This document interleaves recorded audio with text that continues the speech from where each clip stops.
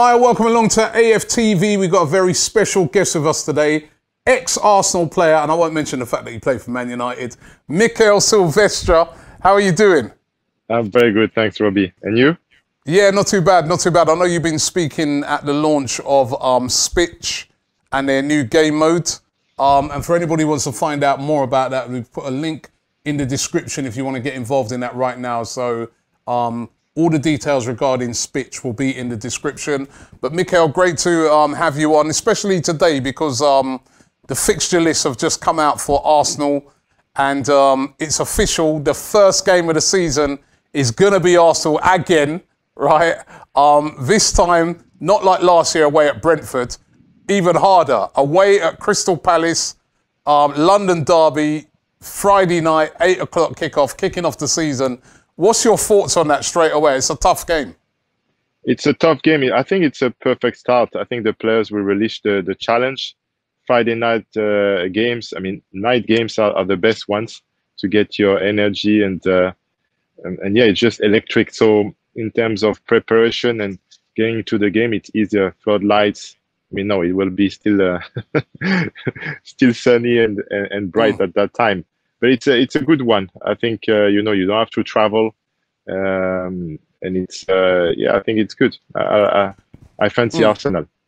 You fancy Arsenal because last year, remember that was the game where we went there and we came there straight after the international break, went away to Crystal Palace, and we were you know everybody was in a good spirits, and we got absolutely destroyed, lost three 0 to them. Patrick yeah. Vieira got one over us. And actually, even when they came to the Emirates, um, it was a last minute goal by Lacazette that got us back into that game and got us a draw. So it's going to be tough.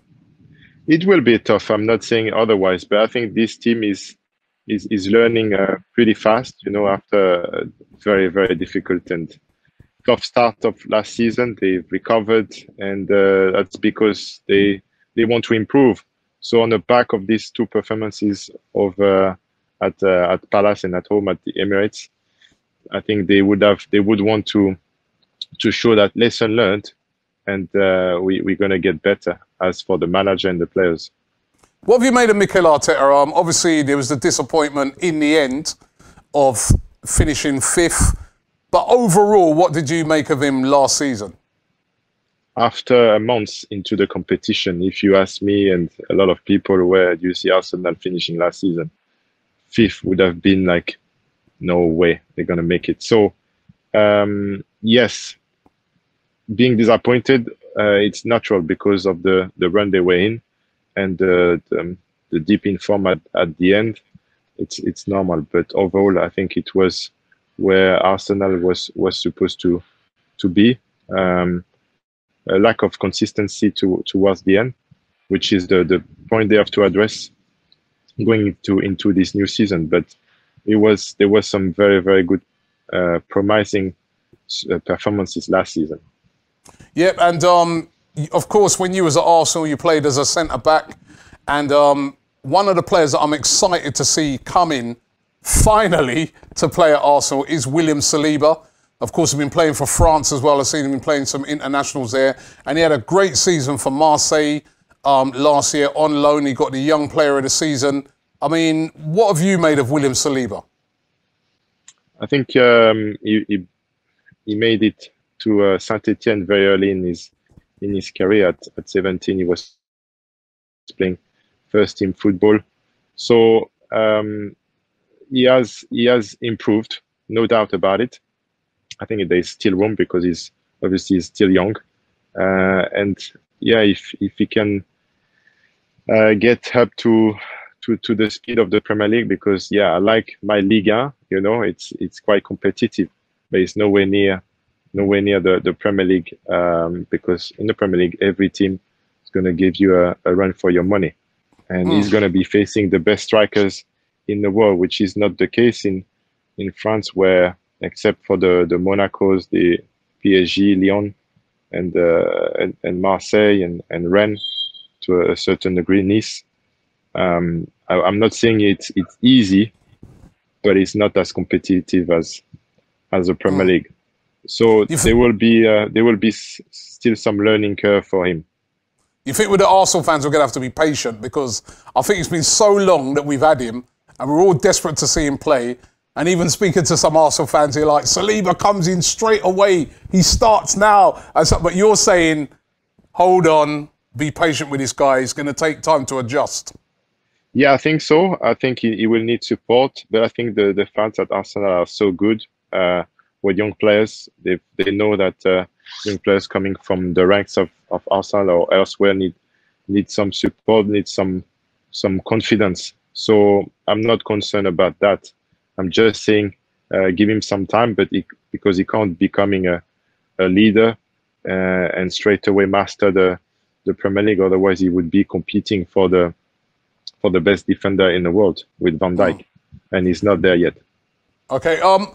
Obviously, with us, every Arsenal fan at the moment, we are desperate for signings. We we've seen a lot of players leave, especially in the striker department. Um, we're desperate for signings. Gabriel Jesus is the player that is is on everybody's lips here at Arsenal. He's been linked heavily with a move to Arsenal.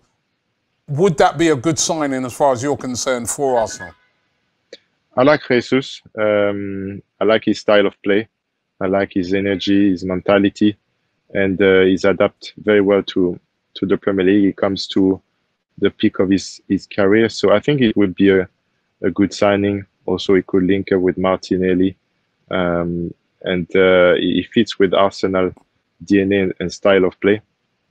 So, yeah, it's normal that he's on on the top list of, of, of the target or at least being linked heavily with the with the move to, to the Emirates. Mm. And then there's other players being linked. Um, Tielemans is another one. Youri Tielemans is another player that um, seems to be at the top of Arsenal's list. Obviously, we've seen him play over the years at Leicester. Do you think it, it, it, again he would be a player that would suit Arsenal? Yeah, I believe he has the the attribute to, to fit into the, the midfield. Um, you know, I think he, he, remembers me a little bit of of Mikel, mm-hmm. um, uh, with a, a, little bit more eye for for goals, and uh, his progress since he joined Leicester and imposed himself with the Belgium national team.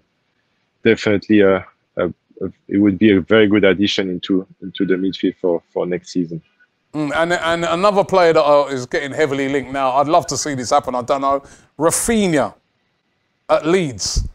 Um, I'd be surprised if it gets done, but we, we it still keeps coming up day in, day out.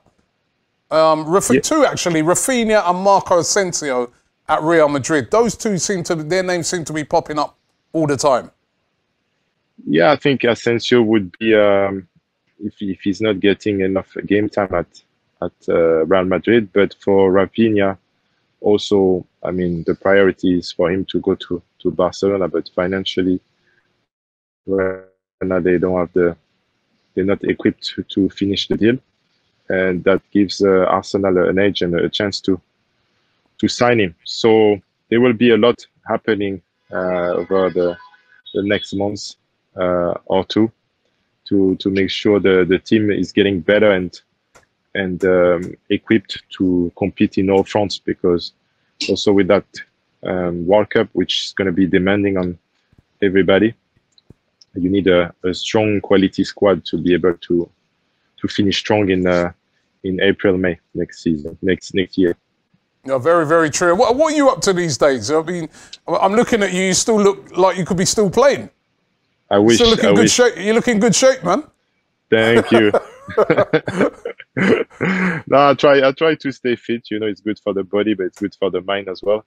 So uh, mm. I run my own agency called Talent Life, looking after upcoming talent and and some uh, yeah some oh, exciting prospects. So, so come on, who, who, have you got for who have you got for Arsenal then? Who, who, who you got lined up?